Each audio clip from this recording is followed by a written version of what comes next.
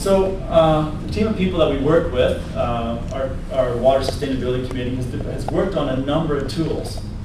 And if you're going to empower and integrate and share and all this, you need to have tools to be able to work with.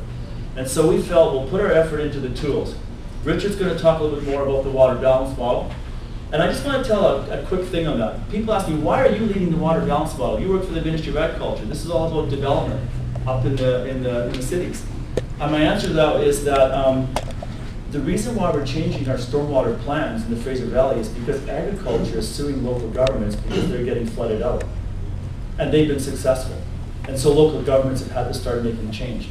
And so that's kind of my job is to protect agriculture and how we're going to get good, uh, you know, good drainage. And I thought we can build bigger pumps, we can build bigger ditches. That's not the way to go.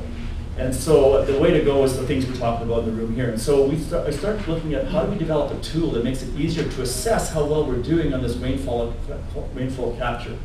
And that's how the water balance model was born and the team of people that I work with, I, I'm just happen to be the lead of that. There's a number of other tools. Water Bucket's what the tool that we're using to put a lot of the stories and stuff up. People can go to waterbucket.ca and get those. Uh, the other tools are more on the um, uh, conservation, but they're sort of part of the whole suite.